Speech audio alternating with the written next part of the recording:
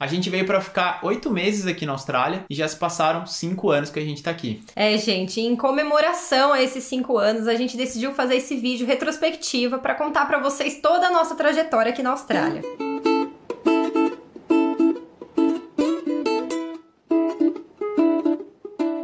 Bom dia, bom dia! Pois é, gente, a gente chegou na Austrália no dia 13 de agosto de 2016. É, um dia antes do meu aniversário, cheguei com 28 aninhos, completei 29, então na verdade cheguei com 29 anos. A gente veio num. Era um sábado à noite, aquela mistura de, de sentimentos, cansaço da viagem, jet lag, fuso horário do Brasil, mas no horário da Austrália. Uma loucura, uma Não- loucura. Uma loucura, assim, sem saber o que sentir, assim. Acho que o primeiro dia a gente não, não tem um sentimento, né? Não. É, o sentimento é cansaço. Sentimento de cachorro caiu da mudança, tipo isso. de não, não cai a ficha, assim. E aí era na noite, a gente tentou dormir, obviamente, mas como a gente tava no fuso do Brasil, deu quatro e meia, cinco da manhã eu acordei, e aí já tinha virado pro meu aniversário. E eu tava, tava no frio de Sydney, né? Agosto, frio Nossa, pra muito caramba. frio. A- ali do, de, deitado ainda, do- conseguindo dormir um pouquinho lá no, no colchão inflável na, na sala dos nossos amigos. Eu levantei, fui lá, falei, ah, vou fazer um chá e vou pra sacada pra não fazer barulho. Curti o friozinho de, de Sydney. Fiquei ali curtindo, curtindo a vibe, tentando cair a, a ficha assim do, do primeiro dia. Aí do nada pousa uma, uma cacatua, o dia já tava, já tinha clareado. Veio uma cacatua e pousa na, na sacada. Cacatua é aquela, aquela ave, parece a uma calopsita. calopsita, né, do Brasil, só que ela é umas três vezes maior, assim, ela, tipo, ela é grande. É cara. muito grande, é muito linda. Uma a cacatua muito linda, brancona, com a crista amarela, assim. E aí eu, quando eu olhei aquilo, eu falei, caraca, mano, que da hora. Tipo, Muito perto de você, Acho que né? ali começou a cair um pouco a ficha. Eu falei, ah, eu não tô no Brasil, eu tô em outro lugar, porque eu nunca tinha visto aquele animal tão bonito. E as- por sorte eu tava com a câmera, eu consegui tirar uma foto dela. Mas até hoje a cacatua pra mim é o, é o animal da Austrália, assim. Pra mim não é o canguru, não é o koala, pra mim é a cacatua que, que marca, assim, porque aquele dia, aquela, aquela imagem dela no primeiro momento, assim, de Austrália foi. É uma, uma coisa que marcou pra mim pra vida, assim. É, e muito legal que esse primeiro dia foi um domingo e como era aniversário do Ulisses, a gente decidiu ir passear. Não dava pra ir pra escola, não dava pra ir pra agência, não dava pra fazer nada. Então a gente foi, a gente pegou um barco da onde nossos amigos moravam,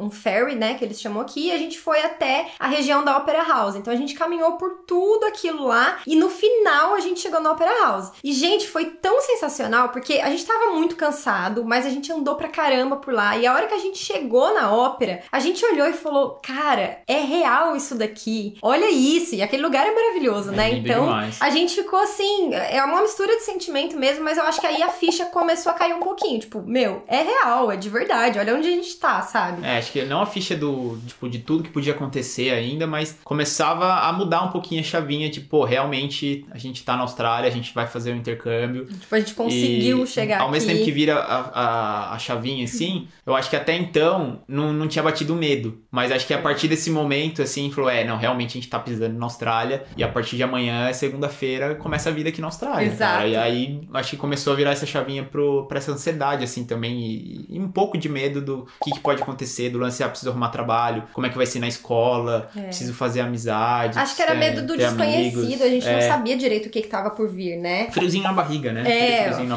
gostoso, barriga. assim. Mas aí, como que foi nossa primeira semana? A gente chegou uma semana antes da nossa aula começar. Então, essa semana, essa primeira semana foi boa que a gente conseguiu resolver muita coisa. A gente foi na agência, a gente tirou documento que precisava, fez conta no banco, comprou chip de celular. A gente foi visitar a escola antes, né? Que nosso amigo estudava lá, a gente foi ver como era. Então a gente meio que organizou a vida nessa primeira semana, E aí, acostumou na- com o jet lag, Na né? primeira semana já consegui um trial num- de emprego Ah, também. é? Que a moça da agência que a, gente, que a gente veio, ela indicou a gente lá. E tanto eu e ali, a gente foi fazer o trial. A gente já contou a história aqui no, no canal. Uhum. E aí eu consegui o trabalho. Então, tipo, na primeira semana eu já tinha conseguido o trabalho. Eu comecei a trabalhar só na segunda. Mas eu já tinha feito o trial na quinta-feira da, da primeira semana. E comecei a trabalhar na sexta da semana seguinte, assim. E tipo, o sentimento de fazer o trial foi muito tenso também. muito tenso, porque eu não tinha nem Porque ido pra gente aula fazia- de inglês ainda, É, né? O nosso gente- inglês tava travadaço, tipo. E a gente não fazia ideia do co- de como que ia esperar. ser esse trial, do que esperar. Exato. Você chega num restaurante bombando, um restaurante enorme, e você tem que fazer as coisas, você nunca segurou uma bandeja na vida. Foi, foi É, tenso. Eu acho que se fosse segurar a bandeja, eu não ia passar. O seu era. Eu, o meu era, por isso que eu não passei. É que o meu era de. que o pessoal que, que acompanha o canal já sabe. Trabalhei numa churrascaria. Então eu era passador de carne. E o trial era esse, né? O, o, teste ali, o dia do teste era fazer, servir a carne e tal. E eu só servia a carne no espeto, aquelas que vem linguiça, frango e tal, que é com a, com a pinça que tira. Então foi relativamente tranquilo, assim, para mim. Não, não tive muita dificuldade e aí consegui. E aí já dá uma sensação de alívio de sair dali empregado. Nossa, gigante de, pô, primeira, porque a gente vem com aquela grana para ficar dois, três meses, mas é contadinho, né? é. né? E, pô, é gastar em dólar, cara. Você e chega aqui e você começa caras. a gastar em, em, dólar e você ainda tá gastando, na verdade, convertendo para real, né? Porque foi seu real que virou dólar. É. E ainda que o dólar era mais baixo na época. então já dá uma segurança, assim, pô, mesmo que não cubra todas as, as despesas, esse valor que eu trouxe para três meses já vai durar um pouco mais, porque eu pelo menos já arrumei trabalho. Aí, não, aí dava mais bom. sossego para ali também, conseguia arrumar trabalho com mais, é. mais calma, né? É, e aí logo na semana seguinte a gente começou a aula, então a gente foi pra escola, a gente não conhecia ninguém aqui, a gente tinha um casal de amigos que foi aonde a gente ficou, na casa deles que a gente ficou, mas só. E aí lá na escola a gente começou a conhecer mais gente, a gente começou a falar mais inglês, né, ter que praticar. A gente caiu até na sala do Upper Intermediate, que já é um inglês bom, já é um inglês legal, mas a gente achava que nosso inglês era muito bom. Só que quando a gente chegou aqui, gente, principalmente nessa primeira semana, a gente não entendia nada, nada de televisão. Nossa, a televisão era grego, cara. Nada. Era japonês, sei lá.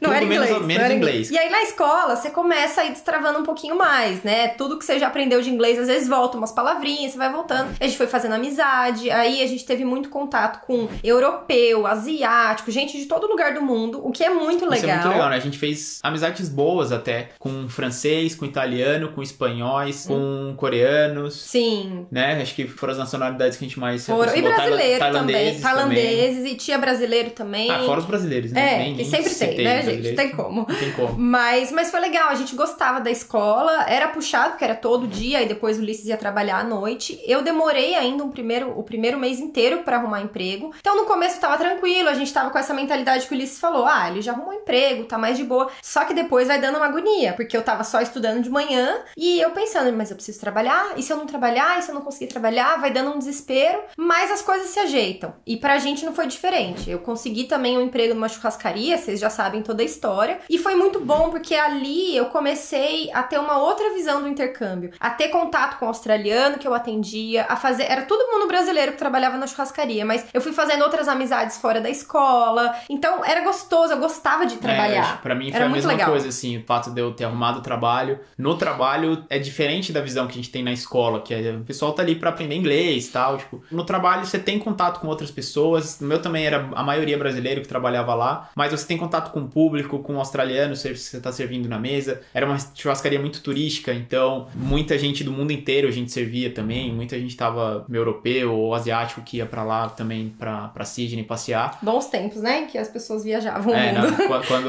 quando o mundo era outro. E fiz muitos amigos ali também. É, acho que os, os melhores amigos que a gente teve no começo de Austrália vieram do, dos nossos Dos trabalhos, trabalhos. assim. Então, realmente foi uma fase muito boa. O É. trabalho contribuiu muito, assim, pra Sim. gente se estabelecer, assim. É, com certeza. Nossa, e a gente percebe que no começo, como é tudo novo, tudo é aprendizado, sabe? Você vai trabalhar, você aprende palavra nova, você vai fazer compra no supermercado, é novo, é tudo novo. Então é muito gosto gostosa essa empolgação, sabe? Você tá o tempo inteiro. Mas ao mesmo tempo é cansativo também, porque você tá o tempo inteiro Ah, é- aprendendo É e- cansativo, eu diria que é exaustivo. exaustivo, é. Porque às vezes a gente não tinha essa noção, assim. Fazia muito tempo que eu não estudava, eu tinha saído da faculdade há um É. bom tempo. E, pô, era, a aula de inglês era das 8 ou das 7 e pouco da manhã até as 2 da tarde. É. Tinha uns intervalinhos aí no meio. Mas, tipo, de segunda a quinta. Então, tipo, é pesado. Aí, à noite eu ia pro trabalho. Não era toda noite, mas a gente não morava tão perto da, da escola nem do, do trabalho. Então, tinha que pegar ônibus e trem pra ir até a City. Então, tipo, era cansativo, É. pesado. A gente ia dormir tarde pra acordar cedo. Tipo, não tinha É muito correria. tempo pra nada. É correria, É, né? Correria. E aí você falou do lance da casa, eu acho que esse foi um ponto muito importante pra Uhum. gente, assim, que por muito tempo foi algo muito difícil, principalmente pra mim, assim, de para eu me sentir em casa. Eu demorei muito pra conseguir me sentir em casa aqui, porque a gente chegou, a gente já morava junto no Brasil há muito tempo, a gente já era casado, então a gente queria ter o nosso canto. A gente veio com isso na cabeça, vamos alugar um apartamento só pra nós dois. E a gente procurou, procurou, aplicou e ninguém aceitou a gente. É, só pra ficar claro, né? Nas primeiras semanas a gente tava na casa de uns amigos Sim, que eles sim. forneceram uma sala ali pra gente poder ficar. Que, pô, valeu demais demais. Anderson e Thay, beijo. Beijo pra vocês. Mas a gente precisava arrumar o nosso canto, É, né? precisava Ali era de uma realmente casa. temporário. E aí, beleza. A E gente, aí a gente- nesse tempo a gente fez umas 239 inspections. A gente foi ver casa longe, perto, apartamento, tudo que vocês imaginam. E aí, no, no começo, a gente tava empolgadão. Não, vamos nas imobiliárias e tal. Só que a gente aplica, as imobiliárias não aceitam, porque a gente é estudante, a gente acabou de chegar, Não eles não, não na histórico. Aí a gente começou a falar, putz, talvez a gente tenha que dividir casa. Sem contar o preço, né? Que era bem caro pegar a casa só pra gente. Tá, aí começamos a ver casas pra dividir, até que a gente arrumou uma, que era uma mulher neozelandesa, que tinha uma filhinha, e parecia ok pra gente. A gente falou, tá, vamos, vamos se render, que seja por um tempo, vamos morar aqui. E no começo foi muito legal. A mulher era gente boa, era bom que a gente falava inglês, a menininha era uma fofa, então foi bacana, assim. Só que, com o tempo, os meses foram passando e a gente continuou não se sentindo em casa ali. A gente não tinha muita abertura, né? Muito espaço, Não, assim. A gente. Tinha só o nosso quarto, um espacinho pequeno na geladeira, um espacinho pequeno no armário. E a gente tinha saído do Brasil com o nosso apartamento de... Era um apartamento pequeno, mas eram dois quartos. A gente tinha todo o espaço pra E gente, era a nossa nosso, privacidade, né? É. né? Então a gente não sentia vontade nem de sentar no sofá dela pra assistir televisão. A gente nunca sentou A gente sofá. ia assistir alguma coisa, a gente pegava, assistia no nosso notebook no quarto, e a gente Não. nunca sentava no sofá. A real é que não era, a gente, não era a nossa casa aqui na Austrália. A gente tava É. na casa dela e a gente era um estranho ali. Então a gente Por começou mais a que se a gente incomodar. pagando, parecia que a gente tava de favor, né? Tava, incomodava. Aí a gente começou a se incomodar, a gente começou a querer sair. E aí começou toda a treta, que foi ó, o pior, o nosso até hoje, o pior perrengue que a gente passou aqui. É que a gente falou pra ela que a gente queria sair, e isso seria antes do previsto, e ela não concordou. E falou que a gente tinha que arrumar alguém pra ficar no lugar ou pagar até o final. E aí a treta Só que começou. a partir do momento que a gente falou que tava pensando em sair, que a gente gostaria de sair, aí ela mudou completamente. Ela ficou. Foi daí pra, pra baixo, assim. Foi horrível, assim. Foi um inferno na terra. Foi um inferno. Que a gente não queria ir pra casa. E mesmo que a noção. gente considerasse ficar mais, ou ficar até o final do que a gente tinha combinado, não ia rolar, ia ser impossível, porque aí ela se transformou no, no capeta. cara, sério. Capeta.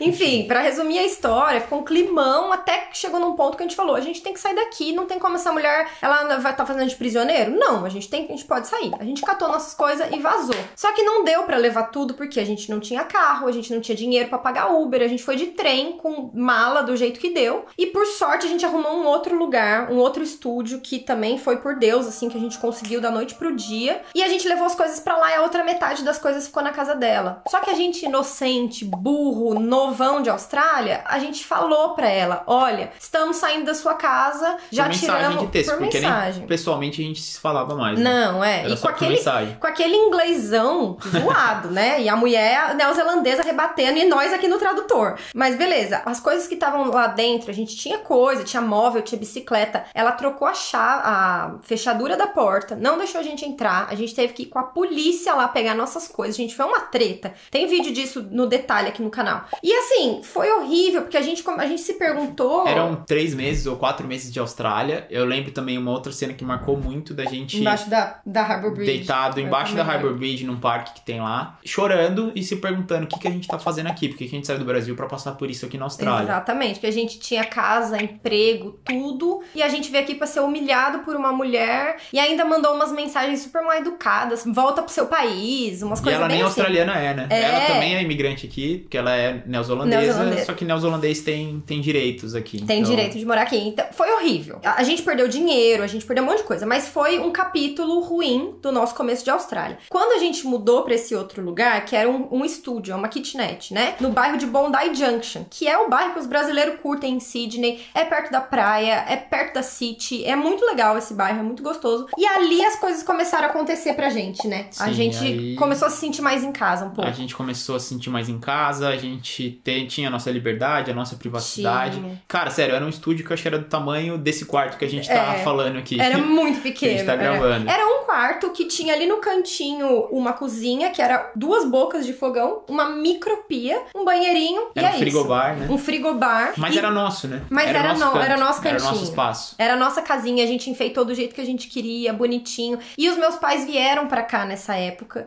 Então eles iam ficar na casa da mulher com a gente. Que bom que não ficaram, porque daí eles ficaram com a gente. Gente, não tinha lugar pra andar na kitnet, de tão pequena que era, com colchão no chão. Mas foi muito legal, foi muito gostoso. E esses foram os primeiros seis meses, né, aqui. Esses foram os primeiros seis meses. Que foram os mais difíceis. Que foram os mais difíceis. E aí, É. quando os seus pais eram, a gente ainda conseguiu viajar. Sim, A gente sim, sim. foi o primeiro momento que a gente conseguiu realmente, tipo, desligar um pouco da vida do intercâmbio ali, daquela momento exaustivo de começo de intercâmbio e, e curtimos, E né? curti, é. E aí fomos pra Gold Coast, pra Cairns, pra Cairns não, Pra pra, Early Beach, Beach, Barreira de é. Corais, com seus pais, foi, Foi muito animal, legal, assim, foi, foi bom pra recomeçar, assim, foi tipo, beleza, viramos a página total desse episódio do que a gente foi expulso lá da casa, que a gente saiu da casa, e agora, beleza, começou o segundo tempo do, É, do segundo intercâmbio. capítulo do intercâmbio. Enfim, e aí a gente se sentiu em casa lá, a gente gostava. Passou os primeiros seis meses que realmente são os mais turbulentos, porque você não tem casa, você não tem amigos, você não tem trabalho, você não tem nada. Mas aí a coisa vai se ajeitando. A gente decidiu renovar o visto. Como a gente falou, era pra ficar oito meses, porque a gente ia estudar e ficar mais dois de férias. A gente viu que a gente gostou muito e que ainda não, não era suficiente. Eu A gente ainda que tinha foi, muito pra viver. foi aquilo, né? Oito meses. Tudo isso daí que a gente falou agora aconteceu em seis, sete meses. Vocês terem.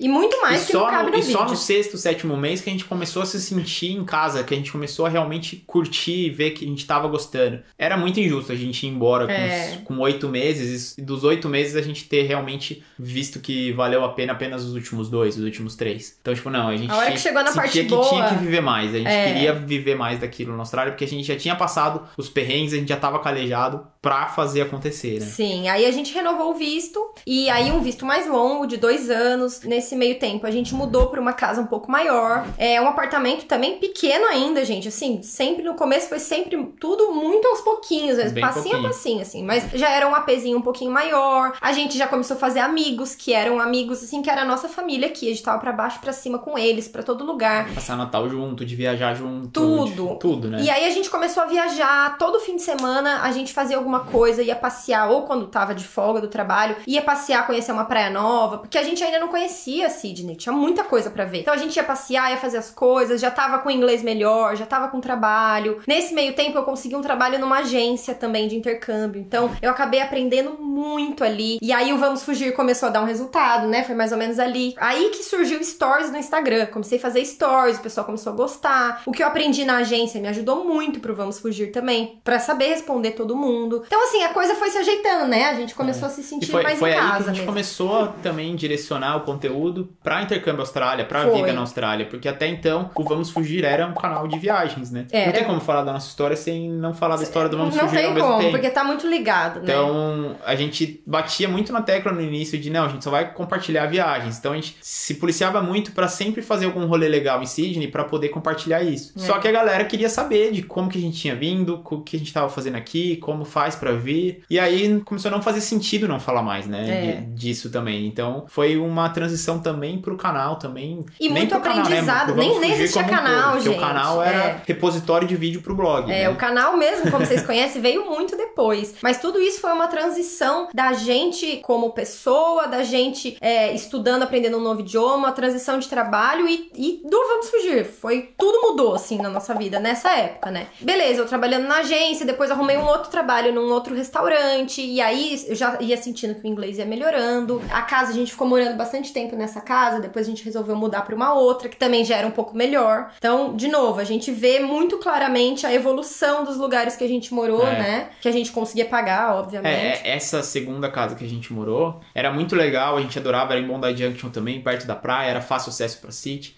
Só que tinha problema de barulho, a gente não tava feliz e a gente resolveu mudar. E a gente mudou pra um lugar que a casa era muito boa, acho que foi o melhor Era um apartamento AP, que a gente morou, super assim, top, de, novinho. de mais moderno, né? Mais novo e tal. Só que eu acho que foi o pior bairro que a gente morou. Foi. Não que o bairro fosse ruim, acho que pra famílias australianas tradicionais era um excelente bairro, assim. Mas pra quem quer viver uma vida de intercâmbio, quer estar perto da praia e tal, pra gente não foi legal, que era Não. É. o bairro de Kilara, lá em Sydney, que era bem no norte, assim, afastado da praia, longe da City, longe dos amigos, longe da vida que a gente tava construindo na, lá em Sydney, então não fazia sentido, né? Não fazia, ficou não. seis meses e E resolvemos gente mudar de novo. mudar de novo, gente. A gente morou em vários lugares.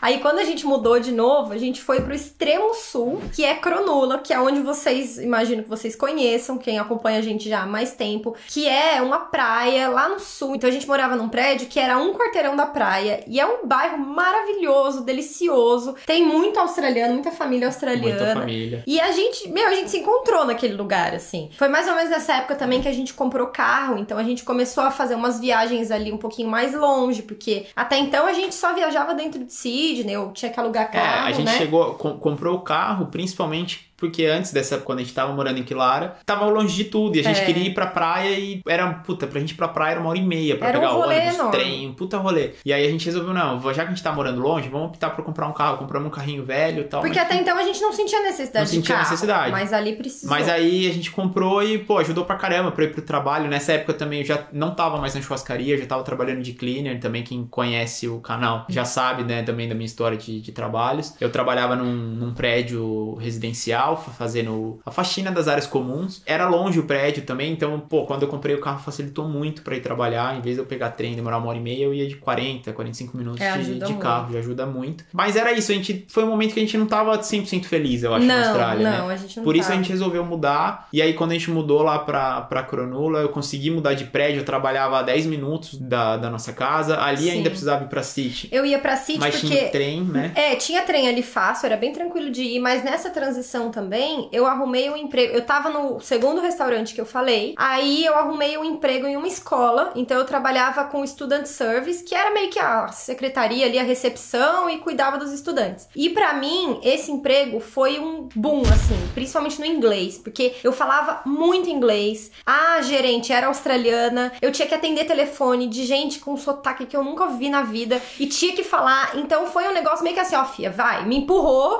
e eu acho que o meu inglês melhorou demais, eu aprendi muita, muita, muita coisa de imigração, porque eu tinha trabalhado na agência e aí eu trabalhei na escola, é um outro lado da, da parte de estudante internacional, eu comecei a enxergar a coisa com uma outra visão, então também foi muito importante pro Vamos Fugir isso, porque acrescentou muito pras coisas que eu falo aqui, sabe, pras coisas que eu respondo e tudo mais, e aquilo ali foi, foi também uma mudança de chave, então no começo morando, morava, a gente morava muito longe, eu pegava trem todo dia pra lá, mas era de boa, eu gostava, até que chegou um momento que eu decidi que eu ia sair, não tava também 100% feliz, trabalhei um ano lá, falei, vou sair e vou me dedicar 100% ao Vamos Fugir, porque se eu não me dedicar, esse negócio não vai dar certo.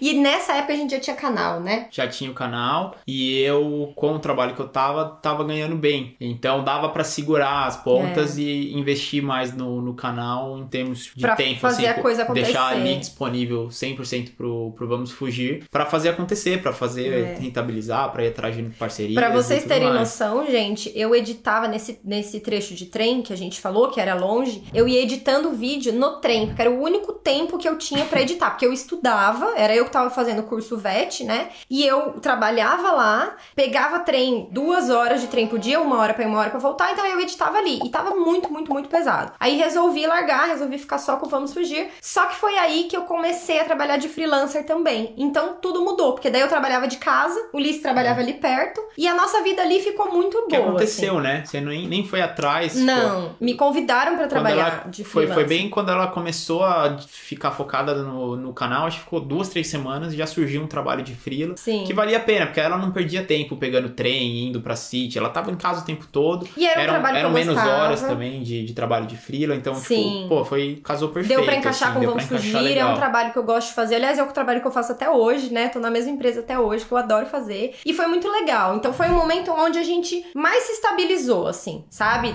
Na, na Austrália mesmo, de tudo que a gente tinha passado até então. Até aí já tinham ido uns três anos que a gente tava aqui na Austrália. Mas, desde o segundo ano, a gente começou a ver que a gente gostava daqui. E que a gente talvez valeria a pena tentar ficar. Já que a profissão do Ulisses estava na lista, a gente viu, a gente começou a fazer consulta com a gente de imigração e a gente começou a pensar nisso. A gente fez nossa primeira tentativa, a lei mudou, como vocês já sabem, já tem um monte de vídeo aqui no canal. E a gente continuou continuou naquela batalha, não, tem que fazer isso, tem que fazer aquilo, reconhece profissão, estuda para inglês. Ali começou a intensificar a coisa, né? É. Isso foi em 2019, mais ou menos, três anos de Austrália. E a gente começou a entrar naquela fissura pelo visto. Não, vamos, a gente tem que conseguir, a gente tem que fazer. Aí tentou uma coisa, não deu certo, muda o plano, faz outra. E a gente ficou muito correndo atrás daquilo. Acontece que em 2019 mesmo, a gente já tinha passado por várias coisas da imigração que desgastaram muito a gente. A gente estava muito prestes a, a, aplicar, fazer uma aplicação pro, pro visto, né? Manifestar interesse. Na cara do gol, assim, cancelaram a possibilidade, né? A Mudaram imigração a mudou a regra é. e aí não dava mais para aplicar dentro do, dos nossos planos. E já era, tipo, a segunda ou terceira porrada na cara que a gente tomava de, de planos de visto e tal. E, mano, isso desgasta de uma forma. Desgasta. desgasta assim. Quando isso aconteceu, o nosso chão se abriu, assim, porque a gente já tinha passado por outros tapas na cara antes, veio mais esse que era muito certo, a gente, meu, e agora? E a gente naquela sensação ruim de ficar passando por aquilo. A única possibilidade seria mudar de cidade, sair de Sydney, e a gente falou, meu, não vamos começar de novo em outra cidade, sabe? Não, já cansou. Por mais feliz que a gente tivesse até ali, como eu falei, a coisa começou a incomodar tanto que a gente já não tava tão bem ali mais, é. né? Por mais que a gente gostasse de onde a gente morava e tal. Foi aí que no final de 2019 a gente conversou muito, muito, muito. Um olhou pra cara do outro e falou: vamos fazer o que a gente sonha? Vamos dar a volta ao mundo? Vamos embora? A Austrália não é o único país do mundo. Vamos, porque a gente, né, já tem Vamos Fugir, a gente gosta de viagem, vai dar tudo certo. A gente decidiu que a gente ia embora. Tava tudo certo, né? Falamos, inclusive, pra gente de imigração: não, não vamos continuar com o plano, vamos embora. Tá, beleza, gente. Tudo lindo. A gente ia embora em setembro de 2020, porque eu tinha um curso que eu gostava muito, que eu tava, apre que eu tava aprendendo muita coisa e a gente precisava também juntar o dinheiro da viagem, né? E a gente decidiu que ia ser até setembro a gente ir embora. Só que, todo mundo já sabe o que aconteceu. Acontece que no começo de 2020 chegou a pandemia e aí a gente não a gente ficou sem plano. A gente ficou sem saber o que fazer. Sem saber, né? Porque a gente não conseguiu ir pro Japão, que ia ser uma viagem enquanto a gente ainda tava na Austrália, que assim, em abril do ano passado. A gente não conseguiu ir por conta da pandemia. Imagina largar tudo aqui na Austrália, desistir do sonho de ficar na Austrália para sempre e ir atrás de viajar o mundo no mundo pandêmico. E que a né? gente não sabia o que seria o que mundo pandêmico. A gente Exato. achou que em três meses a coisa se resolvia. Aí chegou maio, nada mudou. Chegou junho, só piorou. Chegou julho, só piorou. E a perspectiva é de que não tinha perspectiva é. boa, né? Tipo, não tinha como em julho a gente não ter perspectiva e a gente ir embora em setembro. A gente ia embora para onde? Não tinha, não tinha condições. E um detalhe, antes disso a gente comprou a Derleia e a gente comprou, não sei se vocês sabem, mas a gente comprou a Derleia porque a gente ia viajar pela Austrália e depois, esse ia ser o começo da nossa volta ao mundo. A gente ia fazer a volta na Austrália, a gente ia vender a Derleia e ia começar a viagem. E a gente já tinha comprado antes da pandemia, né? Foi bem no comecinho, mas ninguém sabia o que ia ser a pandemia. E a gente foi reformando a Derleia e a coisa a gente viu que não ia rolar a viagem, não ia rolar a viagem, a van ali. A gente falou, tá, e agora? O que, que a gente faz, né? E aí a gente tava no, no meio de 2020 tinha que tomar uma decisão do que, que a gente ia fazer da nossa vida. Se a gente ia viajar o mundo, que sabia que não era, então, tipo, ou era embora da Austrália, era, a opção era voltar pro Brasil, ou se a gente ia ficar em Sydney até o final do nosso visto, que a gente tinha essa opção, nosso visto vai até o final de 2021. Então a gente podia ficar em Sydney por mais tempo, só que a gente já tava meio saturado da vida em é. Sydney. Apesar da gente estar tá feliz lá, a gente gostar muito de, de cronola, a gente já tinha tomado a decisão de ir embora. Então a gente ia ficar ali vivendo um negócio que. É estranho. Até quando, né? Tipo, ah, pra quê? Qual que é o objetivo de eu ficar aqui até o final do, do meu visto? É tipo... estranho porque quando a gente toma a decisão de ir embora, muda uma chavinha aqui dentro. É. Então a gente não tava mais ali, entendeu? A gente não tava mais presente. A gente tava com outros planos, com a cabeça em outro lugar. Sabe? Mas ao mesmo tempo, ir embora da, da Austrália, voltar pro Brasil, naquele momento a gente não tava pronto, a gente não queria. É, não. Dado que a gente não, não tinha opção de viajar, a gente tinha que ficar na Austrália. Então, pô, se a gente vai ficar na Austrália, vamos ficar de alguma forma que a gente possa correr atrás do, do visto australiano de novo, da residência. E aí, qual que é a opção? Era a mesma opção que a gente tinha no início de 2020, que a gente acabou não falando, que era vir para Adelaide. Não, eu falei que era mudar de, de cidade. Era mudar de cidade. É. Só que a gente não quis mudar, porque a gente ia embora. Então, beleza, vamos focar, planejar a nossa viagem pelo mundo e vamos ficar aqui em Sydney mesmo. Não fazia sentido mudar de cidade. Mas agora, no meio de julho, vendo que não tinha o que fazer, né, por conta conta da, da situação do mundo. Tá, então talvez em Sydney a gente sabe que a gente não tem chance hoje com as regras de imigração. Então a gente tem que mudar, então vamos mudar. Aí decidimos. Aí falamos com a gente de imigração e tal, decidimos e viemos. E, e aí vocês sabem da história de que a gente veio pra Adelaide. Nesse meio tempo, a gente morou um tempo na Derleia, na nossa van, lá em Sydney ainda. A gente viajou, então foi super gostoso, porque a gente conseguiu conhecer o deserto da Foi Austrália. irada, puta, Foi que irado. viagem, que viagem irada. Acho que cara. foi a melhor viagem que a gente fez aqui, que foi a mais improvável, assim. Então foi muito louca, mano. De- pensa, a gente construiu uma van, a gente foi com ela pelo meio do deserto, meio do nada, na Austrália, numa cidadezinhas que a gente passava e todo mundo parava pra olhar, assim, porque, tipo, quem que são esses loucos com uma van escrita em português, sabe? Foi muito legal. Nessa época, tipo. É, numa, também- é, sabe? Que nem tem mochileiro aqui, tem nada, que tava fechada a fronteira já. A gente veio pra, pra Adelaide com essa expectativa de, tá, vamos tentar o visto lá, não custa nada, tamo aqui, tamo fazendo o que tem que ser feito pra tentar o visto. O máximo que vai acontecer é não dar certo e a gente segue o nosso plano de volta ao mundo. E aqui é onde estamos atualmente, né? Continuamos nesse plano até hoje. É, mas antes de vir pra Adelaide, a gente também tinha um medo de mudar de cidade, de refazer amigos, porque a gente tinha lá. Era quase os mesmos medos que a gente tinha quando a gente chegou na Austrália. Que aí, pô, é começar tudo de novo numa nova cidade e tal. Uma cidade que a gente só ouvia falar mal, que a gente só ouvia falar que não tinha trabalho, que, Que só fazia que frio. só fazia frio. Que não tinha nada pra fazer. E era uma cidade chata e etc. Só que a gente já conhecia algumas pessoas aqui em Adelaide. A gente chegou na casa da Dani e do Lucas, que todo mundo conhece. Casal nossos na amigos do gringa, Casal na Gringa. Que a gente já era amigo A deles. gente já era antes. amigo deles pela internet, a gente já tinha ficado na casa deles lá em Nussa, a gente já tinha viajado junto, né, no É, final de é 2019 e começo de 2020. Então, pô, a gente foi super bem recebido, entramos num, num grupo de amigos aqui muito rápido, muito fácil. A cidade de Adelaide surpreendeu muito positivamente. Gente, é tudo que a gente linda. escutava As praias daqui são animais, são tão bonitas quanto, se não mais bonitas do que outros lugares da Austrália. E a gente chegou no finalzinho do inverno, mas logo já começou o verão, então a gente conseguiu aproveitar o verão, foi Meu, sensacional. o verão daqui cara. é foi, top. Foi muito é louco. muito gostoso. o Aqui verão o sol se põe no mar, mano. É, E se põe é às nove e meia da noite. Então, É. tipo, você tem o dia inteiro pra curtir de sol. É muito Então, gostoso. assim, o cartão de visitas, assim, de Adelaide foi muito top, assim, pra gente. A gente não tem do que reclamar, cara. Foi uma surpresa muito positiva, Foi. assim. E foi um lugar que a gente nunca imaginou morar. A gente nunca ouviu falar de Adelaide antes de vir pra Austrália, antes de começar esse negócio de área regional aí. O que que era? Nunca ouvi falar de Adelaide. Eu não queria vir pra cá, mas a Adelaide, pra gente... mim, era a tia da escola, mano. tipo isso, era aquele passarinho da Morgana do Castelo Ratimbum, sabe? Era a tia da coxinha, né, Fernanda?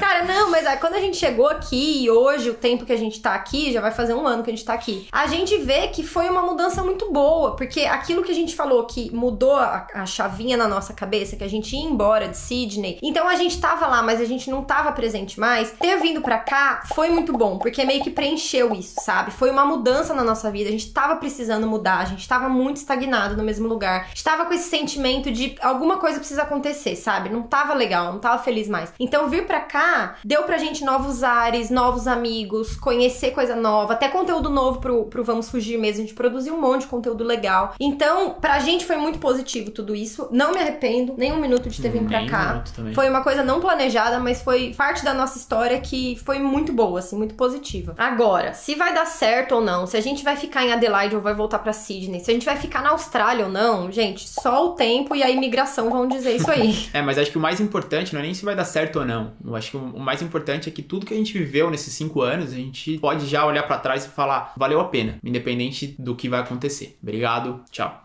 Bom, se você quiser saber a cena dos próximos capítulos, se inscreve aí no nosso canal se você ainda não é inscrito e também já aproveita pra assistir vídeos antigos que a gente contou cada um desses pedacinhos em um vídeo, beleza? Beijo, até mais.